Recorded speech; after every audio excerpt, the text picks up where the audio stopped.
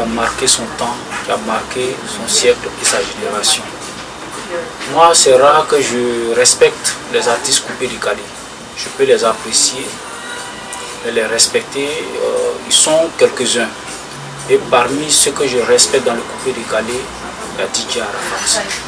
Parce que c'est un artiste euh, qui ne carissait pas d'inspiration. Il avait la suite dans ses idées il savait ce qu'il voulait, il savait l'orientation qu'il voulait donner à sa carrière, quoique quelquefois il n'était pas compris par ses pairs, par ses amis collègues, mais il avait cette volonté de hisser très haut le mouvement coupé décalé qui avait été envoyé par ses dévanciers tels que Doug Saga, le Mola, Jika et Lino Versace et bien d'autres.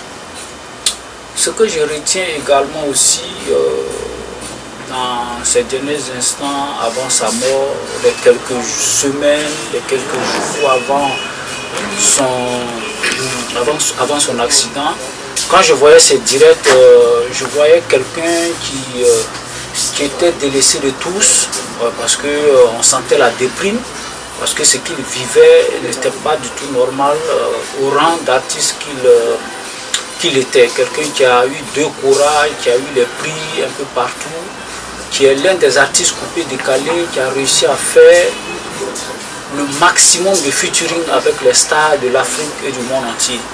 Euh, et se retrouver aujourd'hui, euh, comme on le dit, euh, fermé par les médias, c'était inadmissible pour sa carrière. C'était inadmissible pour lui-même.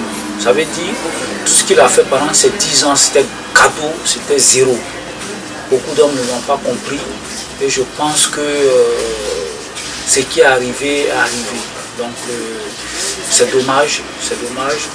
Euh, mais là où il est, je pense qu'il euh, a écrit en lettres d'or, sinon dans les annales du showbiz ivoirien. Arafat, c'est un monument parce qu'à à sa mort, nous avons vu les médias des États-Unis, de l'Angleterre, de l'Europe ne faisaient que parler de lui. C'est parce que il était important. Ivoire TV, musique.